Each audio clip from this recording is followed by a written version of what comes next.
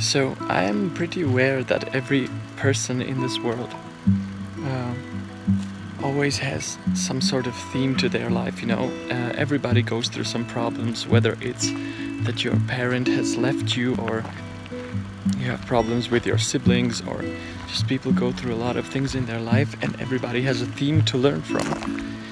And I would say that my theme were always romantic relationships because um, that was a huge deal for me and I've always tried to figure myself out. I've always felt a little bit different than others and uh, stuff like that.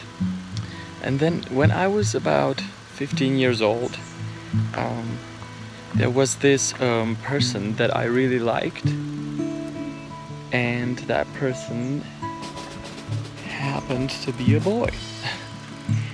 and that was kind of shocking for me because I, for the first time, I was, well, not for the first time, I knew something was different with me, but this time the rush of those feelings was so intense that I no longer could deny that feeling to myself. So that caused me a lot of internal trouble, and I just thought about myself every day. And I remember I just, you know, I had those feelings like I was going back and forth thinking about everything. I was thinking about, oh, you're just confused. This is this is this doesn't mean anything. It's it's okay.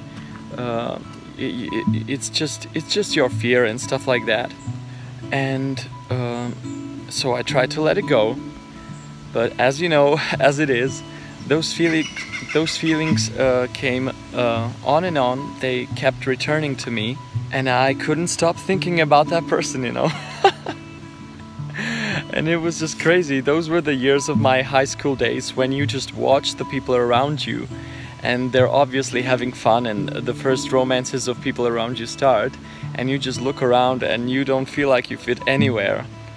And it causes you this loneliness that it's it's really heartbreaking and it's really hard. Like right now I am laughing because I'm really happy about who I am now.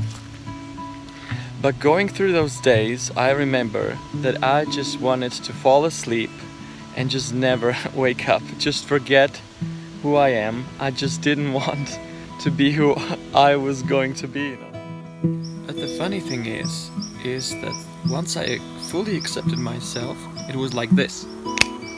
It was like a complete turnaround, and I realized that just realized that all that denying has caused me much greater pain than just me accepting the things as they are, and I really felt this joy uh, that I am just who I am, and that feeling that something was holding me back was gone. And that was great, and then I told my brother and my friends and my family, and they accepted it too, and that was my journey towards self acceptance. Know a lot of people, and a few of my friends actually, would consider themselves to be somewhere in the middle, you know. And I, I know a, a lot of people could find themselves being attracted to, to the person of same sex, uh, but they would never really feel that pull towards them as I felt. So that is really interesting too. And I know a lot of, a lot of, for example, my favorite musicians and a lot of my uh, favorite artists would consider themselves to be, you know, bisexual or whatever.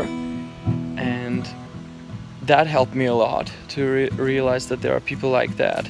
And I just wanted to talk to you about this because I know that a lot of young people, when they are going through their teenage years and they're figuring themselves out and stuff like that, you know, they're trying to be cool or whatever, uh, they make a lot of assumptions. Um, and I know that one of the most powerful assumptions people nowadays make is that they they mistake gentleness and sensitivity for a weakness. And that's not something uh, only young people do. It's something we collectively as a humanity do. And I was I spent so many years trying to figure out uh, what what part of this feels wrong to me. I I feel that there's something missing. There's this puzzle missing to this. trouble because it's not only about sexuality or whatever, it's also about that collective myth that we're supposed to be like tough. And that doesn't allow, especially men, to feel sensitive and vulnerable. And then you wonder why so many relationships are just so disconnected and people are just so untrue to each other and there we're wondering why we have the world we have right now. It would be great if we could change that because the goal is not every for everyone to become like like me. But the goal is for a regular man to realize that it wouldn't hurt anyone to be just a little more gentle, you know. It wouldn't hurt anyone. And it would actually, in fact, uh, make you more of a man.